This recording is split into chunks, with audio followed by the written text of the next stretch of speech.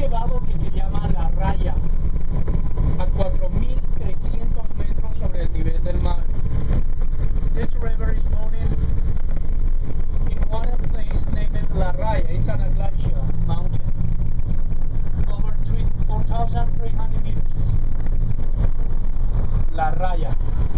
Así que si se pasa de la raya